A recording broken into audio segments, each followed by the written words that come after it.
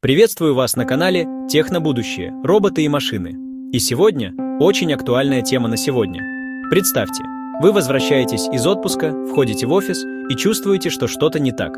Коллеги работают как-то быстрее. Шум клавиатур стал тише, а обсуждений меньше. Проекты, которые раньше тянулись неделями, теперь закрываются за пару дней. Вы садитесь на свое место, открываете задачи, и вдруг видите, что ваши результаты за прошлый месяц уже устарели. Рядом коллега, который недавно только учился у вас. Теперь он выполняет в два раза больше задач и делает отчеты, будто за него работает целая команда. Вы спрашиваете, Калама, как тебе удалось это все так быстро сделать? Он улыбается. Да просто я теперь с ИИ работаю. И вот в этот момент вы понимаете, мир успел шагнуть вперед, пока вы стояли на месте. ИИ не где-то там, в лабораториях. Он уже здесь, рядом. Помогает в каждой профессии, от инженера до маркетолога, от юриста до строителя. Маркетолог за утро делает десятки идей для рекламы с помощью чат GPT.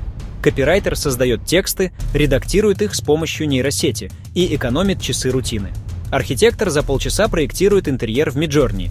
Учитель подбирает индивидуальные планы обучения для каждого ученика. Инженер-электрик рассчитывает схемы и пишет инструкции с помощью ИИ. А даже мастер по ремонту снимает видео, делает описание и миниатюры для YouTube при поддержке нейросетей. Раньше ИИ пугал, сегодня помогает. Завтра станет обязательным навыком. Но почему это так важно именно сейчас? Потому что за последние два года технологии сделали скачок, который раньше занимал десятилетия. ИИ уже пишет код, анализирует финансовые отчеты, создает 3D-модели, проверяет юридические документы и даже проводит маркетинговые кампании – Компании по всему миру внедряют искусственный интеллект, чтобы снизить расходы и ускорить процессы. И те, кто умеют им пользоваться, становятся незаменимыми. А те, кто игнорирует новые инструменты, рискуют оказаться лишними. Не потому что они плохие специалисты, а потому что теперь есть другие, кто делает то же самое быстрее, дешевле и точнее. Что можно сделать уже сегодня? Один начать с простого – зарегистрироваться в чат GPT или Perplexity, задать вопросы, попробовать решать реальные задачи.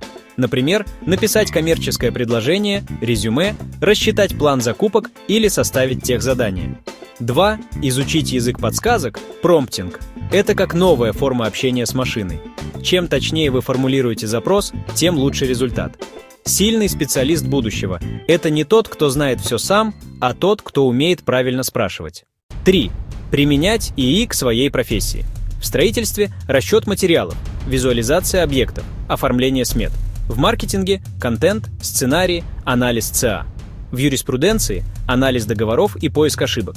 В инженерии – моделирование, документация, оптимизация решений. В образовании – адаптивные программы и автоматизация тестов. 4. Не бояться экспериментировать. ИИ – это инструмент. Он не ошибается сам по себе, но учит вас думать лучше, когда вы проверяете его ответы. Это диалог, где вы главный. Главная мысль – ИИ не заменит человека. Он заменит того, кто не использует ИИ. Через несколько лет привычное разделение «умелый специалист» и «новичок» будет не по опыту, а по скорости адаптации. Те, кто уже сегодня учится работать с нейросетями, через год будут не бояться сокращений. Они сами станут теми, кого будут искать работодатели. ИИ не враг – он не пришел забрать профессию. Он пришел помочь встать на уровень выше. Может, сейчас это кажется сложным, но вспомните, как когда-то сложно было освоить первый компьютер. Как было страшно нажимать кнопки, чтобы ничего не сломать. А сегодня это смешно вспоминать. С ИИ произойдет то же самое. Через пару лет мы будем удивляться, как вообще справлялись без него.